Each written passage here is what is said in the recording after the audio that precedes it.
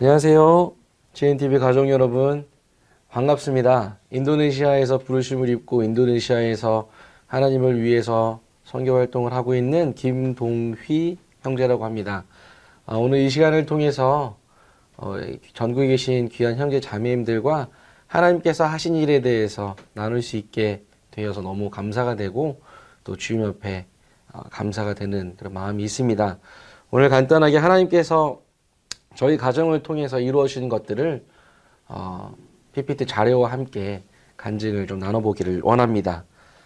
어, 들어가기에 앞서서 이제 말씀을 한 구절 보기를 원합니다. 그 전에 저희 이제 아이들 함께 오고 싶었는데 오늘 같이 오지 못했어요. 그래서 이 아이들이 여러분들께 이제 인사를 드리고 싶다라고 해서 영상을 하나 붙여놨습니다. 함께 짧게 한번 보시죠. 안녕하세요. 저는 김하울. 저는 김하랑. 저는 김하연입니다. 한국에서 좋아요. 왜냐면 공기가 너무 좋아서요. 한국에서 좋아요. 왜냐면 물이 많아요. 저는 먹을 게 많아서 좋습니다. 감사합니다. 아이들이 어, 한국이 좋은 이유에 대해서 얘기를 하네요. 공기가 맑고 물이 깨끗하고 더 맛있는 먹을 게 많다라고 하는 사실. 아이들한테는 이게 참 단순하지만 기쁨이 되는 이유 중에 하나가 되는 것 같습니다.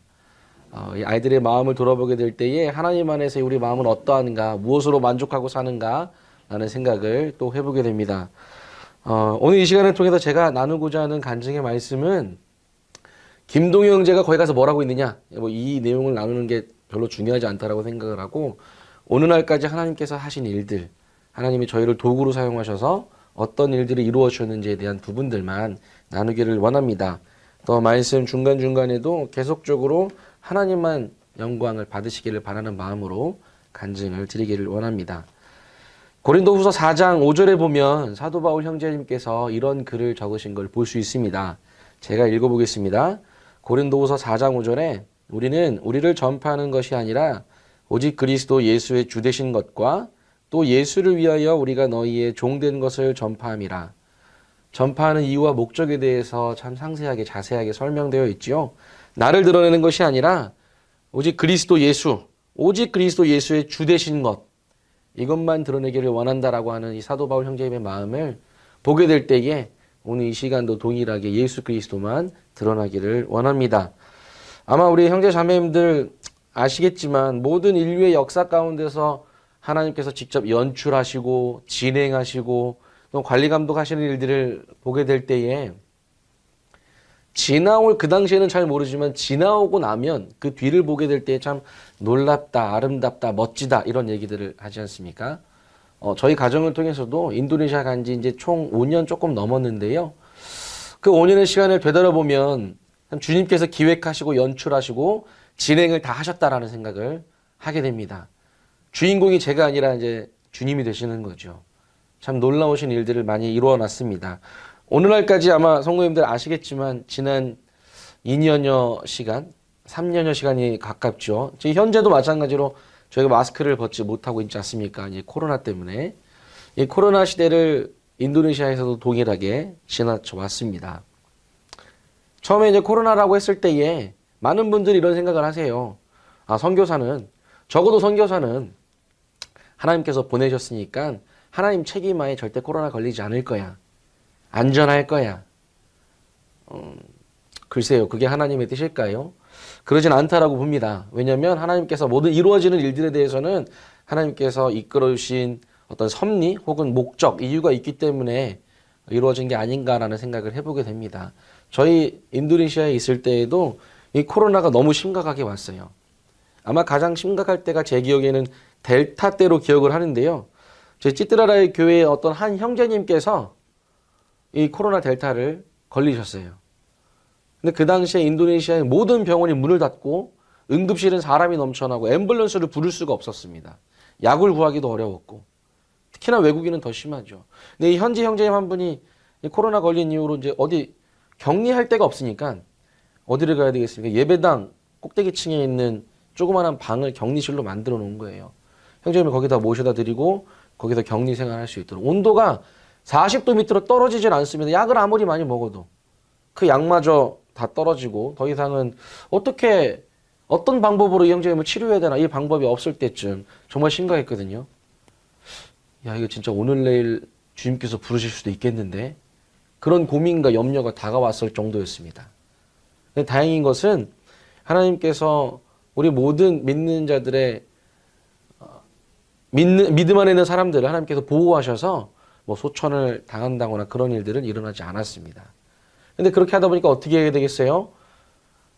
그분들이 먹을 수 있는 약, 그분들이 먹을 수 있는 음식 이런 것들을 또 조달해 줘야 되지 않겠습니까? 매일 아침 일꾼 형제님들과 음식을 갖다 나르고 함께 만나서 위로하고 또 기도하고 그런 시간을 지내오다가 어떤 경로인지는 모르겠지만 저희 가정에게도 이 코로나라고 하는 바이러스가 들어오게 됐습니다.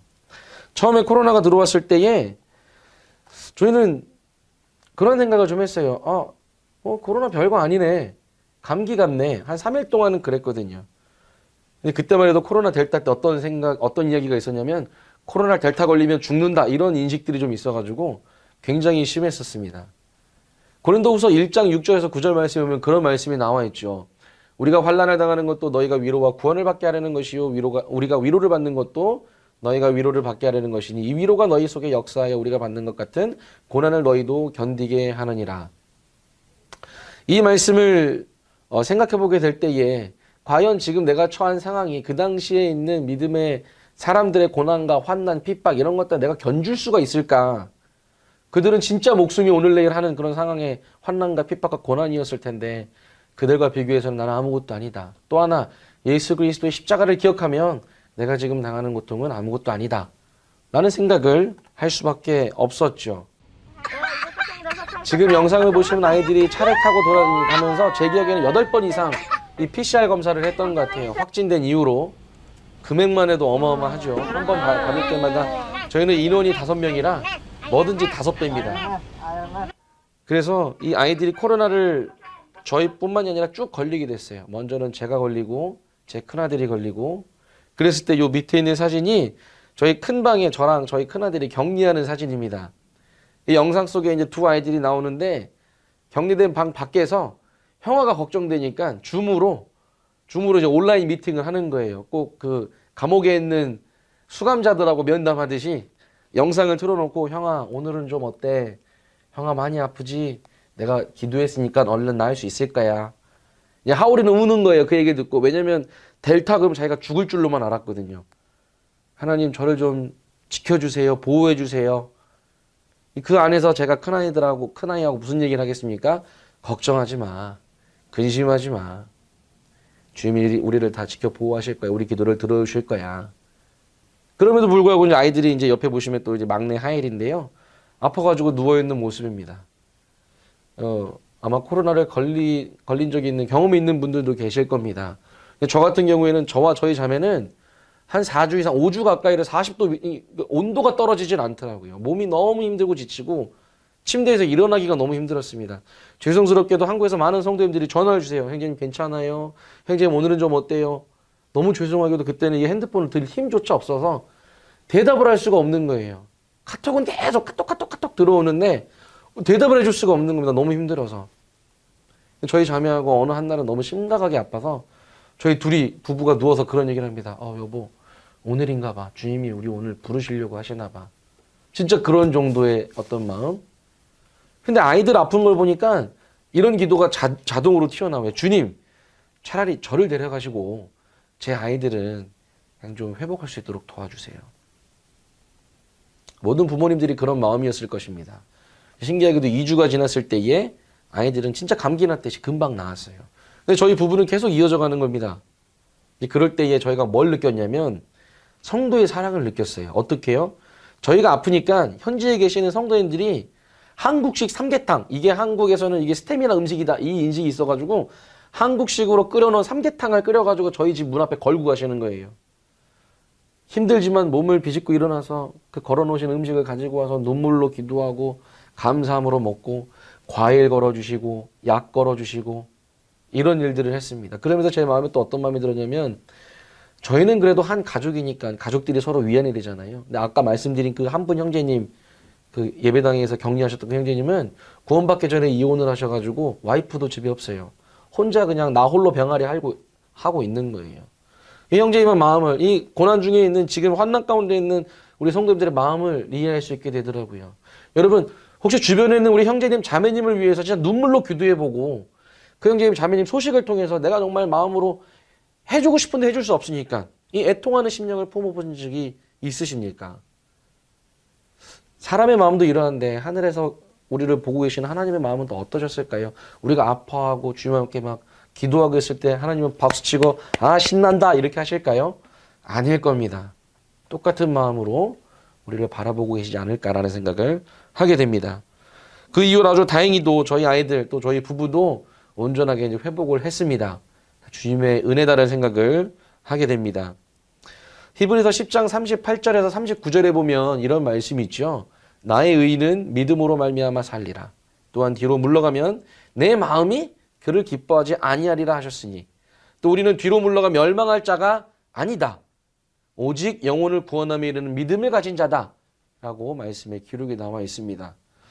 세상 사람들은 저희들을 볼 때에 많이 놀라합니다. 아니 어떻게 그럴 수 있지? 아니 무슨 생각으로 도대체 그렇게 하는 거야? 이런 생각 이런 말씀들을 많이 하세요. 지금 보시는 사진은 저희 현지 찌뜨라라의 교회에 얼마 전에 있었던 2022년도에 11월 달에 있었던 전 가족 연합 캠프를 한번 했습니다. 이 캠프에는 저희 아버지이신 김공자 숫자인지 김공생님께서도 함께 하셨고 또 우리 서울 북북교회 우리 강용길 선교사님도 함께 하셨습니다. 코로나가 시작되면서부터 많은 사람들이 뭘 얘기하냐 이제 이제 교회는 망했다. 왜? 모일 수 없으니까. 말씀 전하러 간다고 복음 전하러 간다고 그거 절대 안 될 걸. 너희 스스로 멸망을 자초하는 일이라. 이런 얘기들이 있었어요. 근데 지금 보세요. 3년 전에 제가 한국에 잠깐 왔을 때 간증 드릴 때에는 한 8, 90명 정도가 저희가 모이고 있습니다. 코로나 이전에는. 지금 숫자가 더 줄었나요? 아니요. 더 늘었습니다. 이게 하나님께서 하시는 방법이시더라고요. 사람들은 계산하기 좋아해요. 안 될 거야. 못 할 거야. 멈춰야 될 거야. 근데 주님의 시간, 주님의 방법은 한 번도 안 된 적이 없고 못 한 적이 없고 멈춘 적이 없다라고 하는 사실입니다. 너무 놀라운 일이죠. 근데 그 역사 가운데 주님께서 저희를 도구로 써주셨다라고 하는 것. 이게 더 놀라운 삶의 간증이라고 하는 것입니다. 저희 찌뜨라라의 교회는요. 제가 너무나도 어, 자신을 갖고 자신 있게 또 굉장히 어떤 뭐라고 하죠? 그 프라우드를 갖고 설명할 수 있는 그런 간증거리가 있어요. 저희는 매일 만나서 성경 공부를 합니다. 월, 화, 수, 목, 금, 토. 형제님들이 직장이 없어서 시간이 많아서 모일 수 있는 시간이 충분해서 모이느냐? 아니요. 현지에 계신 성도님들 다들 각자의 가게를 운영하고 계세요. 많은 사람들은요. 인도네시아는 더운 나라니까 아침에 문을 일찍 열립니다. 왜냐하면 점심 때는 사람이 많이 안 돌아다녀요. 뜨거워서 뭐 물건을 사러 간다든가 그런 게 없습니다. 아침에 문을 일찍 열어야 장사를 빨리 할 수 있고 많은 어떤 금전적인 이익을 볼 수 있는 상황인 것이죠. 근데 우리 현지 형제님들은 아침에 가게 문을 일찍 열지 않아요. 기본이 10시 이후, 11시 이후에 가게 문을 엽니다. 주변에 있는 상인들이 다 뭐라고 해요? 야, 너 미친 거 아니냐? 지금 여기 가게 세가 얼만데 너 지금 장사를 해도 지금 모질할 판인데 지금 문 닫아놓고 가게에 도대체 뭐 하는 거냐? 네. 모든 직원들, 안에 있는 청년들, 직원들 다 모아서 성경 공부, 기도로 아침을 시작을 합니다. 직원들을 채용할 때도 조건이 그거 하나예요. 너 우리 가게에 와서 일하는 거 좋아. 네 백그라운드가 뭔지 나는 성경, 네가 뭐 무슬림이든 불교 사람이든 네가 카톨릭을 섬기든 다 상관없어. 대신에 우리 이 장소는 가게 문 열기 전에 성경 말씀을 함께 읽고 함께 공부하는 시간이 있어. 거기에 네가 참여할 수 있다라고 한다. 이 조건 하나면 너는 우리 가게 와서 일해도 돼. 그냥 채용 조건이 그거 하나예요. 이 일을 통해서 많은 청년 형제들이, 청년 학생들이 이 시간을 통해서 구원받는 놀라운 역사들이 일어났습니다. 그 중에 몇, 몇 형제들은 모임하는 지체로 영접돼서 지금 주님을 잘 섬기고 있어요. 이게 얼마나 놀랍습니까? 또 아까 말씀드린 많은 주변의 상인들이 너는 망할 거야. 니네 교회는 이제 코로나 때문에 옳다구나. 코로나 때문에 니들은 모일 수도 없을 거야. 더 이상은 모일 수 있는 환경이 아니야. 인도네시아 정부 자체에서도 뭐 한국에서도 마찬가지겠지만 모이면 안 됩니다. 모였다가 걸리면 벌금 묻니다. 뭐 이런 조건들이 많았지만 하나님의 일은 멈춘 적이 없었습니다. 또 말씀의 교제는 끊겨본 적이 없어요. 복음의 1세대들, 지금 인도네시아에 계시는 복음의 1세대들, 우리 현지 일꾼 형제님들은 이런 마음, 이런 기조가 있어요. 우리가 이 시대에 어떤 행동을 가지고 어떤 말씀의 기조를 가지고 섬기느냐, 이게 우리 다음 세대를 위한 바로메터가 될 것이다. 아마 지금의 코로나 상황보다 나중에 더 심각한 상황이 오, 오게 될 수도 있, 있을 텐데, 그때 되면 우리의 다음 세대들이 이 날을 기억할 거다. 우리 믿음의 선배들은 이런 환경이 왔을 때 어떻게 행동했는가. 우리가 그 삶의 좋은 본을 그들에게 남겨줘야 된다. 이런 기조를 갖고 계세요. 주변의 상인들이 보기에 어떻게 생각합니까? 두 부류가 나오죠. 어떤 사람들이 나올까요? 히브리서 11장 38절에 보면 뭐라고 말씀하십니까? 이런 사람은 세상이 감당하지 못한다라고 말씀하고 있습니다. 한 부류는 이런 사람들이 있어요. 야, 참 대단하네. 그런 상황 중에도 모일 수 있다. 그런 상황 중에도 모인다고? 참 훌륭한 사람들이네. 이렇게 얘기하는 한 부류. 또 다른 한 부류는 미쳤구만. 아주 단단히 미쳤어. 저러다가 망하려고 그냥 작정을 했구만. 이런 사람들이 있어요. 근데 형제님들 가게, 그 주변의 가게들이 막 그런 아우성들을 해도요, 신기한 건 지금 남아있는 가게는 어느 가게냐? 그분들이 장사가 잘 되느냐? 아니요. 업종 변경이 계속됩니다. 결국에는 양옆에 있는 가게들이 문을 다 닫았어요. 샷다를 내렸습니다. 근데 이 형제님 가게는 계속 운영이 되는 거예요. 너무 신기하죠? 현재 형제님들이 그런 말씀을 해요. 아, 우리가 우선순위를 뭘 두느냐? 그게 정말 중요하구나. 내가 주님을 선택하고 그 선택에 따라서 내가 열심을 낼 때 하나님께서 우리의 선택을 선히 보시고 거기에 관한 또 결과를 그 보응을 해주시는 모습을 우리가 보게 됐습니다. 그래서 히브리서 12장 1절에서 3절에 보면 믿음의 어떤 사람들에 대한 그런 글들이 나오잖아요. 그러면서 초반절에 인내로서 우리가 우리 앞에 당한 경주를 하며 또 두 번째 말씀인 믿음의 주여 또 온전케 하신 이인 예수를 바라보자 라고 나와 있습니다. 김동경제 믿음이 커서 제가 인도네시아 선교 잘할 수 있을까요? 아니요. 제 믿음을 비유하자면 겨자씨, 겨자씨보다도 작지 않을까라는 생각을 하게 됩니다. 절대 크지 않아요. 그런데 어떻게 하나님의 일을 감당할 수가 있을까요?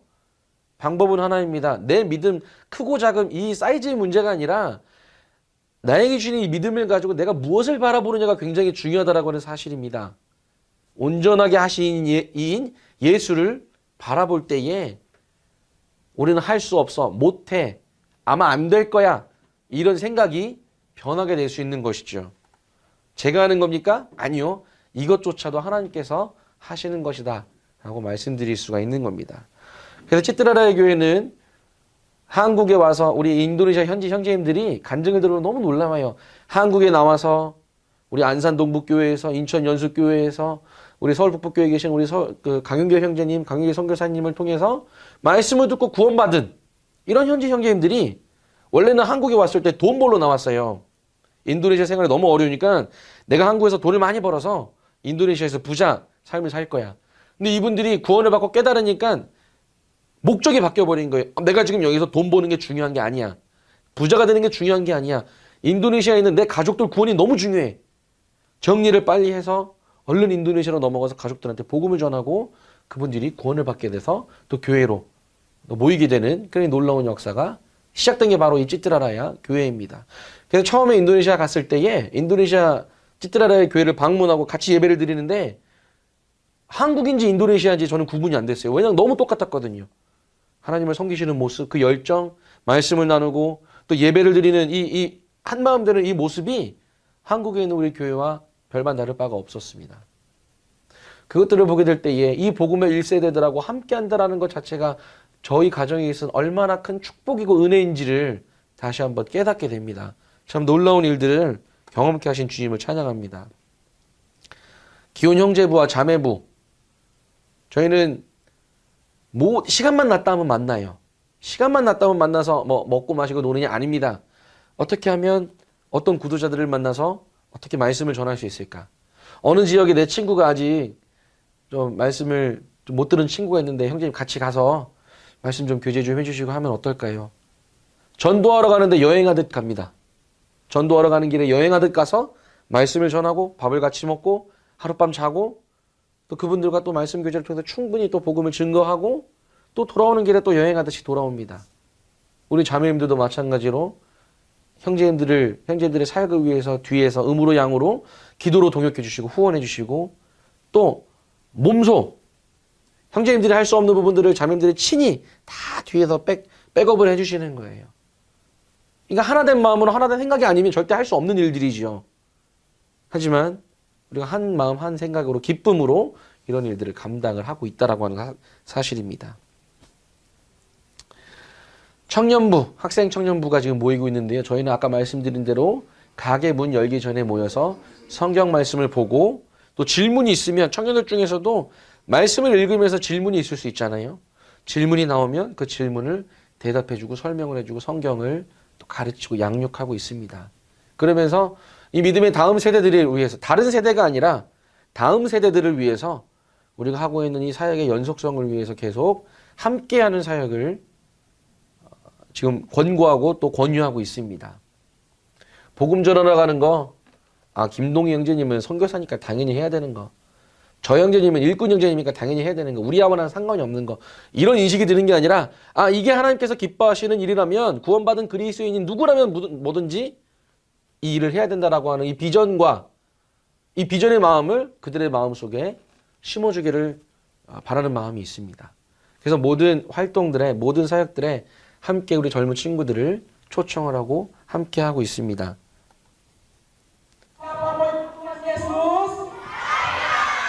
주일 학생들입니다.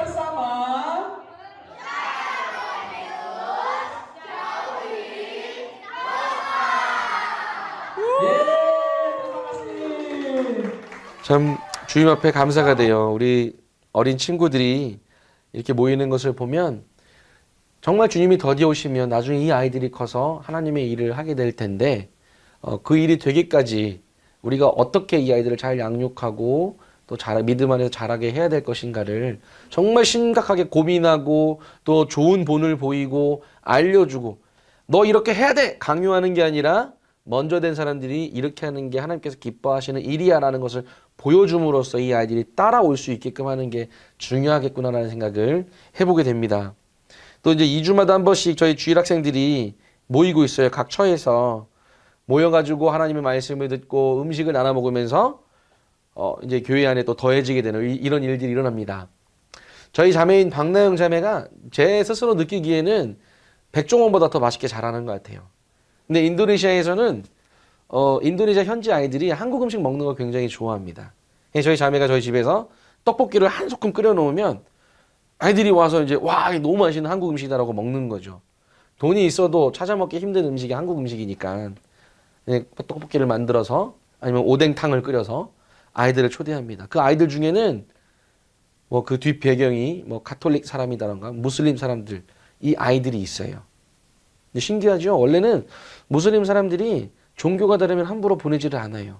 근데 이 부모들이 이 아이들이 부모들한테 어 엄마 아빠 오늘 저 집 가서 오늘 저 집에 행사가 있대요. 주일학교 모임이 있다는데 갔다 와도 돼요? 저희 가면 떡볶이 주고 뭐 맛있는 음식이 한국 음식이 나온대요.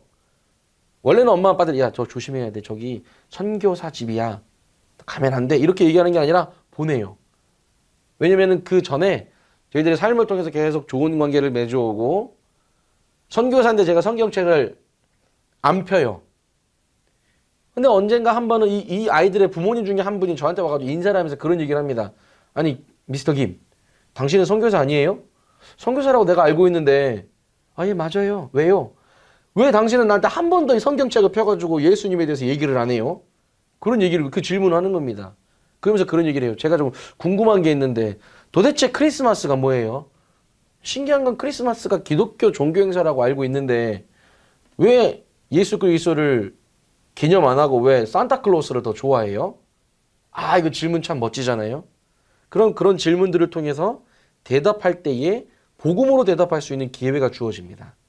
궁금하시죠? 아 들어와 보세요. 그때 이제 성경을 열어서 무슨 예수 그리스도가 진짜 누구신지를 증명해 볼 수가 있게 되는 겁니다. 그런 기회들을 주님께서 계속 마련해 주고 계세요. 이런 주일학교 모임을 통해서 청년부 모임을 통해서 디모데후서 2장 1절에서 4절 말씀에 보면 이런 말씀이 있습니다. 내 아들아 그러므로 너는 그리스도 예수 안에 있는 은혜 가운데서 강하고 또 내가 많은 증인 앞에서 내게 들은 바를 충성된 사람들에게 부탁하라. 그들이 또 다른 사람들을 가르칠 수 있으리라. 너는 그리스도의 예수의 좋은 병사로 나와 함께 고난을 받으라. 병사로 복무하는 자는 자기 생활에 얽매이는 자가 하나도 없나니 이는 병사로 모집한 자를 기쁘게 하려 함이라. 아멘. 이제 하나님께서 저희 가정에게 주시는 또 다른 어, 또 기쁨의 어떤 기도 제목들을 나누기를 원합니다. 저희가 현재는 5년 정도 찌- 찌뜨라라의 교회에 같이 머물면서 지금 사역을 감당해 오고 있는데 초기부터 주님께서 저희들 마음에 깔리만탄이라고 하는 지역으로 가기를 원하시는 원하신다라고 하는 분별의 마음을 주셨습니다. 깔리만탄에는 저뿐만 저희 가정이 오기 이전부터 우리 서울 북북교회 강윤길 선교사님을 통해서 계속해서 깔리만탄에 방문하여 현지에 계신 형제님들의 고향을 방문해서 복음을 전하고 일가 친척들에게 복음을 전했던 그런 경험들이 많이 있는 지역인데요. 이 지역을 방문하기 위해서는 자카르타에서 비행기를 타고 폰티아낙으로 들어가야 됩니다. 폰티아낙에서 내려서 이제 차를 타고 이제 숲속 이제 시골로 들어가야 되는 그런 일정인 것이죠. 그 지역만 해도 큰 지역만 따져봤을 때에는 한 여섯 일곱 지역이 됩니다. 큰 지역만 따져봤을 때. 저희도 이제 인도네시아에 온 이후로 두 달에 한 번씩 뭐 짧게는 매달 열흘 단위, 뭐 일주일 단위로 비행기를 타고 현장을 같이 들어가죠. 같이 들어가서 가족들을 방문하고 복음을 전하고 또 이미 씨, 어, 뿌- 뿌려진 씨앗, 이 복음의 씨앗을 잘 성장하기 위해서 또 말씀으로 그들을 세우고 이런 일을 하고 왔었습니다. 근데 어느 순간부터 한 2년 정도 된 것 같아요. 어느 순간부터 저희 기도 제목이 바뀌기 시작했어요. 현지 형제님들하고 같이. 처음에는 어떤 기도가 있었냐면, 아, 주님, 저희가 숭아의 아약이라는 지역으로 바로 가길 원합니다. 숭아의 아약이 여기 녹색 표시가 된 이 지역인데요. 폰티아나게 비행기를 타고 도착하면 차로 5시간에서 6시간 정도를 타고 들어가야 있는 장소가 바로 이 숭아의 약 지역입니다.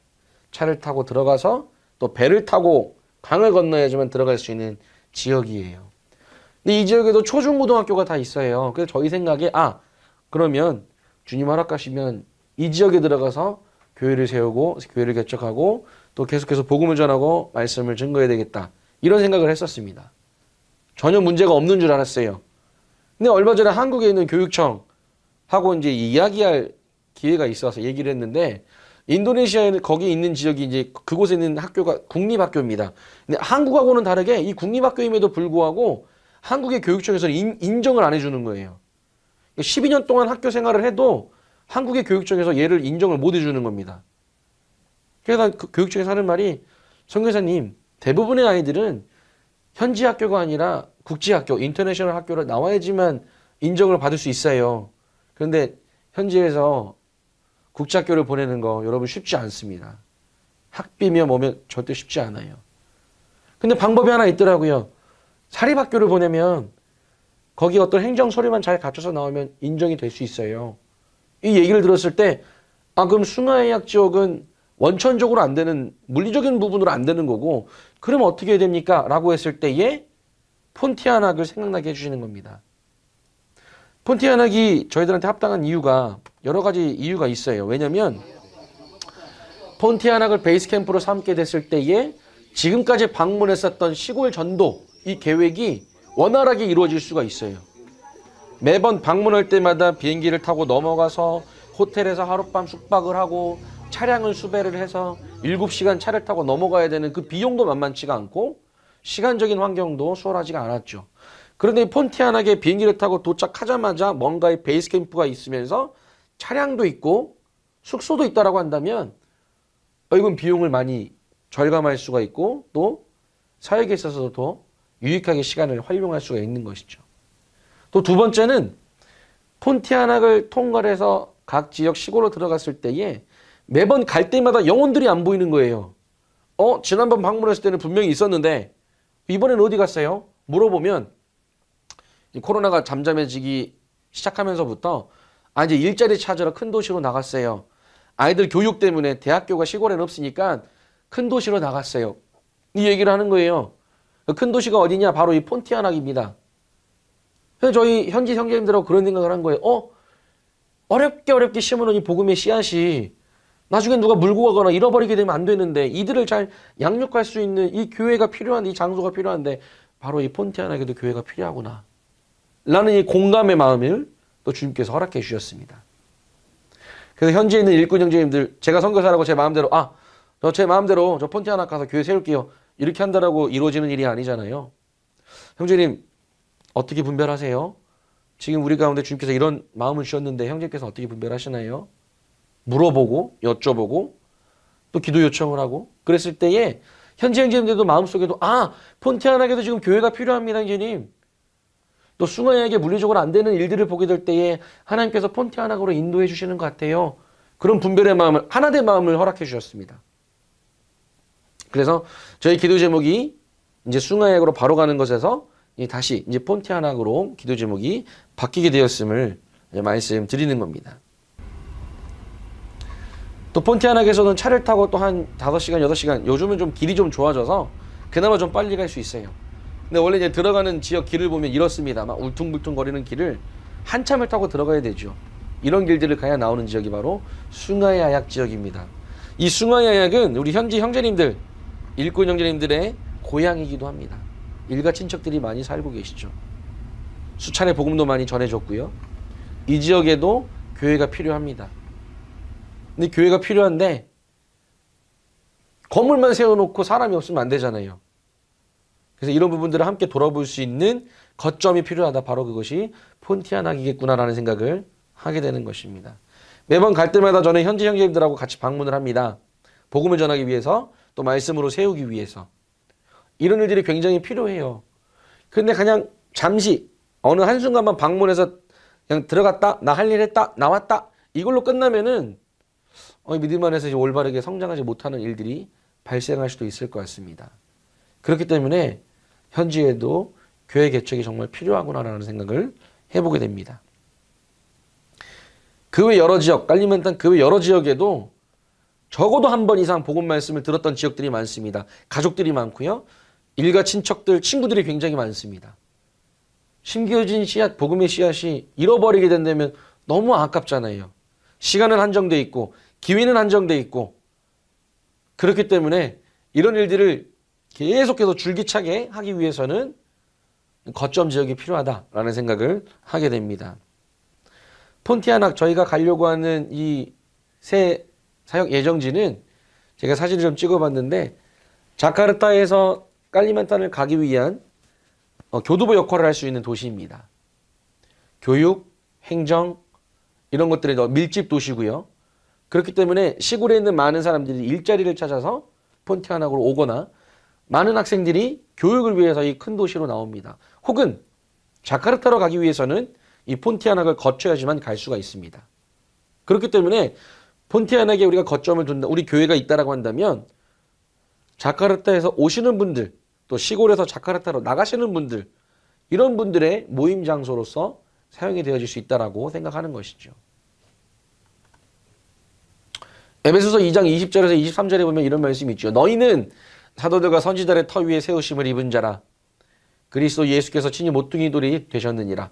그의 안에서 건물마다 서로 연결하여 주 안에서 성전이 되어가고 너희도 성령 안에서 하나님이 거하실 처소가 되기 위하여 그리스도 예수 안에서 함께 지어져 가느니라.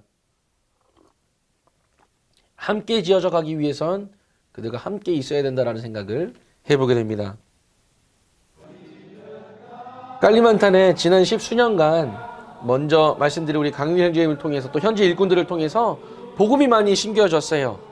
근데 지난 10월 달에 처음으로 모든 깔리만탄에 있는 복음이 전해졌던 기회가 있었던 그 땅들의 그 지역에 있는 성도님들을 한꺼번에 모았습니다. 그래서 캠프를 열었어요. 가족 캠프, 연합 캠프를 1회 처음으로 딱 열었습니다. 많은 분들이 그 걱정을 해요. 아, 여기선 사람이 8명인데 갈 수 있는 교통비가 없어요. 걱정하지 마십시오. 교통비 걱정하지 마십시오. 어떻게든지 주님이 채우실 겁니다. 오십시오. 어, 지금 당장에 차비가 없는데 어떻게 가요? 계좌번호 불러주세요. 택시 타고 일단 오세요. 차 타고 오면 차값을 우리가 대신 내주고 첫 연합 집회를 가진 겁니다. 그러면서 어 내가 알지 못하는 다른 지역에도 나와 같은 믿음을 소유한 자들이 있네. 이걸 이제 알게 되는 거예요. 이 첫 번째 연합 캠프를 지난 10월 지난 10월 달에 가졌습니다. 너무 놀라운 시간이었어요. 아깝잖아요, 이 영혼들. 주님께서 이 영혼들을 동일하게 사랑하시잖아요. 어떻게 이분들의 믿음을 잘 성장시킬 수 있고 시켜드릴 수 있겠습니까? 성경에 보면 그런 나옵니다. 그런 말씀이 나옵니다. 에디오피아 4시가 가면서 그런 얘기를 하죠. 이사야서 말씀 보면서 이게 도대체 읽으면서도 뭔 말인지를 몰라. 이게 누구냐? 누구에 대해서 얘기하는 거냐? 나에게 가르쳐 주는 사람이 없어가지고 내가 이게 도대체 뭔지를 이해를 못하겠다. 알려주고 가르쳐 줘야 될 사람이 필요합니다. 38년 된 병자, 안진뱅이 병자, 우물가에서 뭐라고 얘기합니까? 내가 38년 동안이나 내가 낫기를 정말 원하는데 누구 하나도 나를 들어가지고 그 안에 넣어주는 사람이 없었습니다. 한 명만이라도 나를 도와주면 그 안에 넣었다가 잠깐만 빼주면 나 나올 수 있을 텐데 38년간 한 명도 없었어요. 제가 먼저 들어가려고 막 기어가다 보면 다른 사람들이 먼저 가가지고 낫고 나옵니다. 그 한 영혼, 그 마음에는 어떤 마음이 있었을까요? 한 명이라도 나를 도와주면 어떨까? 그런 음성을 저희 마음에 주님께서 들려주셨습니다. 폰티아나에도 여러 영혼들이 있습니다. 우리 아까 말씀드린 우리 일가 친척들, 또 친구들, 또 교육을 위해서 대학교를 오기 위해서 온 우리 청년들. 이 모든 분들 영혼 귀하잖아요. 이분들에게도 복음이 필요하고 또 말씀으로 양육이 필요할 것입니다. 폰티아나의 환경적인 조건은 아까 말씀드린 대로 교통의 어떤 중심지, 깔리만타를 들어오기 위해서는 무조건 거쳐야만 되는 도시, 그다음에 행정 이런 것들이 다 모여 있습니다. 그렇기 때문에 어, 만남이 집중될 수 있는 장소가 되는 것이죠. 또 깔리만탄 자체가 오래전부터 인도네시아가 식민지 생활이 됐기 때문에 해외 선교사들 많은 기독교 선교사들이 방문을 해서 복음을 전하고 교회를 세우는 그런 지역들이 많습니다. 물론 카톨릭도 많고요. 물론 무슬림들도 많습니다. 교회 건물은 있는데 안에 사람이 없어요. 왜냐면 이제 예전에 그 선교사들이 왔다가 다시 본국으로 돌아가고 그 후에 현재 일꾼들을 세워야 되는데 그런 부분들이 워낙 부족한 겁니다. 귀한 어떤 그 정말 우리가 가지치기를 해야 될 그런 영혼들이 굉장히 많은 것이죠. 근데 그걸 돌아, 돌아볼 사람이 없다라고 하는 그런 상황 중에 있습니다. 폰티아나의 예배당을 제가 개척하기 위해서 기도 중에 있습니다. 건물을 하나 어, 임대를 해서 2층에 예배당 홀을 만들고 3층에는 방으로 꾸며놔서 오시는 분들 숙소로 제공을 하고 또 1층에는 인도네시아 사람 특성이 있어요. 아침에는 커피와 빵을 한 잔 먹고 출근을 합니다. 그래서 이제 교회 운영을 위해서 또 1층에는 조그만한 어 뭐라고 할까요? 커피나 차를 팔 수 있는 그런 공간을 마, 마, 마 련해서 어떤 재정적인 그런 도움도 얻을 수 있지 않을까라는 이런 계획을 갖고 있습니다. 자세한 계획은 다 말씀드릴 수는 없겠지만 이게 가능하다면 하나님께서 이런 일들을 이루어 주기를 기도하는 마음이 있습니다. 또 예배당 개척하는 것, 폰티아나를 기점으로 아까 말씀드린 여러 한 다섯 개, 여섯 개 저기 큰 소도시들에게도 또 거점 지역을 또 세우길 원하는 마음이 있습니다. 또 먼저는 어린이 사역, 또 청소년 사역, 청년 사역을 위주로 우리가 하나님 말씀 또 복음을 전하고 교회를 세우는 일에 초점을 둬야 되지 않을까라는 생각을 해보게 됩니다. 마태복음 보면 이런 말씀이 있죠. 달란트를 주인이 주고 달란트를 어떻게 썼느냐라고 하면서 칭찬을 하는 장면이 나오는 그런 말씀이 있습니다. 그 이제 다섯 달란트를 받은 이 종이 뭐라고 얘기하죠? 주인님, 보세요. 제가 주인님 주신 다섯 달란트로 또 다섯 달란트를 남겼어요. 이랬을 때에 뭐라고 합니까? 주인이 야 너는 5달란트밖에 안 남겼냐? 얘라 바보야 이렇게 얘기합니까? 아니죠. 잘했다. 착하고 충성된 종아. 네가 적은 일에 충성했기 때문에 많은 것을 너에게 맡기겠다. 이 약속의 말씀까지도 허락하시잖아요. 칭찬 플러스 약속까지 해주시잖아요. 모든 믿는 그리스도인들에게 하나님께서 주신 달란트가 있습니다. 우리의 달란트를 어디를 위해, 무엇을 위해서, 어디에 사용하고 있느냐 굉장히 중요하죠. 우리는 하나님 앞에 칭찬받고 있습니까? 잘하였다. 착하고 충성된 종아. 이런 얘기를 들을 자격이 있는 자들인가요? 여러분들이 받은 은혜의 달란트 어디에 사용하고 있는가 이 생각하는 것도 굉장히 중요하다라는 생각을 하게 됩니다. 무엇을 위해서? 바로 주인의 즐거움에 참여하기 위해서 이런 생각들을 하게 되는 것이죠. 우리 사랑하는 형제 자매님들의 기도 또 물심양면 후원해 줌을 통해서 저희 가족들 지금까지 건강하게 또 평안한 가운데에 하나님의 일들을 잘 감당하고 있습니다. 참 돌이켜보면 아까 말씀드린 것처럼 굉장히 놀라운 시간의 연속이었어요. 인도네시아 국기를 볼 때마다 저희 가족은 그런 생각을 합니다. 인도네시아 국기가 위에는 빨간색이고 밑에는 흰색이에요. 잘 생각해 보세요. 빨간색 그 국기를 볼 때마다 빨간색은 우리 주 예수 그리스도의 보혈의 피를 생각하게 합니다. 그 보혈의 피 아래에 있는 모든 사람들은 눈과 같이 하얗게 죄가 씻을 수 있게 된다라는 생각을 하게 돼요. 국기마저도 멋지지 않습니까? 인도네시아. 그런 것들을 우리 주일 학생들한테 얘기해. 야, 너희들 그거 아니? 니네 나라 국기 진짜 멋있단다? 왜요? 야, 그 빨간색이 무슨 의미인 것 같아? 인도네시아 말로 메라뿌띠라고 얘기하거든요. 메라는 빨간색, 뿌띠는 흰색이라고 얘기를 합니다. 삼주의 생각에는 분명히 의미가 있는 것 같아. 뭐냐면 이 빨간색은 주 예수 그리스도의 피를 상징한단다. 이 피 아래에 있는 모든 사람들은 다 하얗게 될 수 있어. 눈처럼. 이게 보혈의 공로 예수 그리스도의 십자가 사건이란다. 이런 얘기를 해줄 수 있는 것이죠. 우리 저희 가족이 이런 것들을 증거하기 위해서 하나님을 오로지 하나님을 증거하기 위해서 삶을 살고 있습니다. 저희들이 잘나서가 아니라 저희들 믿음이 뭐 대단해서가 아니라 모든 것들이 하나님께서 베풀으신 은혜이며 또 한국에 계신 우리 형제 자매님들의 기도, 후원, 또 위로, 격려 이런 것들로 이런 것들이 바탕이 되었기 때문에 저희들이 할 수 있다라는 생각을 하게 됩니다. 참 놀랍고 감사하지요. 그렇기 때문에 고린도서 10장 17절에서 18절 나와 있는 것처럼 자랑하는 자는 주 안에서 사- 자랑할지니라 옳다 인정함을 받는 자는 자기를 칭찬하는 자가 아니요 오직 주께서 칭찬하시는 자시니라. 많은 사람들은 많은 것을 기점으로 칭찬할 수 있지요. 하지만 그리스도인들에게 가장 중요한 것은 무엇일까요? 주 안에서 자랑하는 것. 주 안에 우리의 어떤 지혜, 지식이 풍요함? 어떤 가진 것에 대한 부요함? 이런 것들을 자랑해야 될까요? 아니요. 주님께서 칭찬하시는 건 아까 말씀 보셨던 것처럼 다섯 달란트를 줬는데 다섯 달란트를 또 남겼다. 이럴 때 칭찬하시지 않습니까? 이런 것들을 기억해 보신다면 우리의 삶이 무엇으로 가득해야 될지를 우리는 알게 될 것입니다. 향후 계획 및 기도 요청에 대한 말씀을 드리고 줄이도록 하겠습니다. 어, 찌뜨라라의 교회 기도 제목들은 아마 우리 열린길 소식지를 통해서도 많이 들으셨을 거예요. 어, 지금 비대면과 대면 집회를 겸해서 하고 있는데 어, 이를 위해서 기도해 주시고 또 본티아나 또 깔리만탄 숭하이악 지역에 있는 새 교회 개척을 위해서도 계속 기도해 주시면 감사하겠습니다. 또 현지 예배당이 지금 이제 비영리 재단으로 등록을 하고 있습니다. 어, 그렇게 된다면 앞으로의 모든 이제 우리 이웃 세대들을 위해서 이, 이, 이런 일들을 하고 있는데요.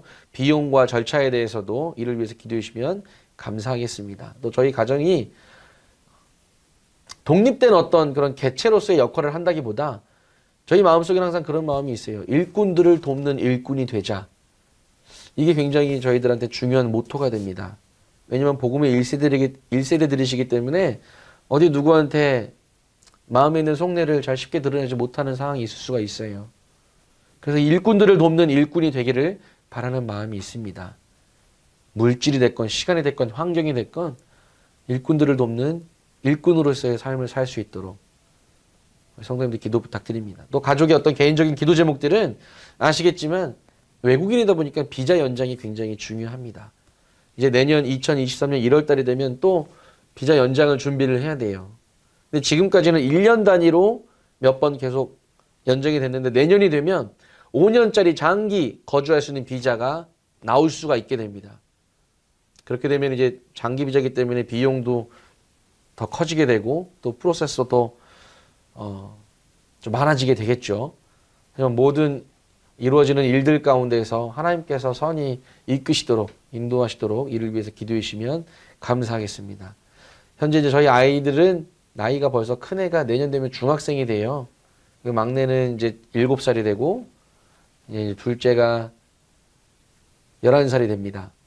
10살이 됩니다. 그렇기 때문에 아이들 학교 생활 적응하는 거, 뭐 물론 지금도 잘하고 있습니다. 예, 주님의 은혜로. 하지만 이제 친구들하고의 교우 관계, 또 선생님하고의 관계, 또 주변 이웃들과의 관계 속에서도 이게 어린이 사역자로서의 일을 잘 감당할 수 있도록 그게 시작이 가정에서부터 시작될 수 있도록 이를 위해서 기도해 주시면 감사하겠습니다. 특별히 부르신 곳, 맡겨진 곳 어디서든 항상 충성되게 섬길 수 있도록 저희 가정을 위해서 기도 부탁드리고요. 이를 위해서 이제 저희 삶의 간증이 어, 그분들에게 있어서 삶의 봄이 될 수, 본이 될 수 있도록 이를 위해서도 기도 부탁을 드립니다. 마지막으로 어, 아이가 저희 큰 아이가 이제 중학교를 가기 전에 저희가 폰티아나고로 이사를 할 계획 중에 있습니다. 일정으로 보자면 2024년 아마 7월 이전이 될 것 같습니다. 그래서 마지막으로 찌뜨라라에서 6학년 학교 생활을 마치고 중학교 가기 전에 그 사이에 이사를 준비하려고 합니다. 이사를 하려면 거주지가 필요하겠죠. 또 거주지에서 또 예배당으로 모일 수 있는 공간도 필요할 것입니다. 이사, 이사와 관련된 모든 행정적인 서류들이 필요할 거고 또 비용이 필요할 것입니다. 저희 걱정되냐고요? 걱정 많이 되죠? 하지만 걱정하지 않습니다. 말이 좀 이상하죠. 걱정은 되지만 걱정이 되지 않는다는 말이요. 왜냐? 주님이 계시니까요. 주님이 시작하신 일에 대해서는 절대 실패함이 없고 넘어짐이 없잖아요. 그거 하나 믿고 바라보고 가고 있습니다. 가장 선한 방법도 주님께서 허락하시 해, 해 주실 거라는 믿음이 있기 때문이죠. 이 일을 위해서 특별히 기도해 주시면 감사하겠습니다. 자, 오랜만에 한국을 와서 이렇게 성도님들하고 귀한 또 하나님께서 하신 일에 대해서 간증을 나눴는데요. 우리 가정에 계시는 또 각 교회에 계시는 우리 귀한 형제 자매님들 영역 간의 강건함을 위해서 저희들도 계속 기도하겠습니다. 무엇보다도 우리가 붙잡고 나가야 될 것은 진짜 믿음의 주요 온전케 하신 이 예수를 바라보고 한 방향 한 뜻으로 한 눈으로 바라보고 나가는 게 굉장히 중요하다는 생각을 하게 됩니다. 어디에 있든 무슨 일을 하든 어떤 상황이든 우리를 사랑하신 그 주님의 은혜를 기억하며 하루하루를 살아가시는 우리 성도님들이 되시기를 바라는 마음이 있습니다. 다시 한번 이 어리고 작은 자를 또 초대해 주시고 또 간증을 나눌 수 있는 기회를 허락해 주셔서 너무 감사드립니다. 우리 GNTV 우리 성도님들 운영하시는 형제 자매님들 너무 감사드리고요. 또 이 GNTV를 통해서 말씀이 더 편만하게 증거되어지기를 원하는 또 기도하시는 모든, 후, 모든 후원자들 형제 자매님들께 다시 한번 감사를 드립니다. 이 GNTV 채널을 통해서 컨텐츠들을 통해서 한국뿐만이 아니라 인도네시아 현지에서도 유익을 얻고 있음을 저희가 또 볼 수 있습니다. 또 이런 좋은 환경, 이런 좋은 어떤 내용들을 가지고 하나님의 복음의 말씀이 더 지상 끝까지 어디에까지 어디에든 증거되어지기를 바라는 마음으로 저희 계속 기도하도록 하겠습니다. 다시 한번 주님께서 주시는 평안함으로 모든 가정과 교회가 평안함으로 가득 차기를 바라는 마음 또 기도하겠습니다. 감사합니다.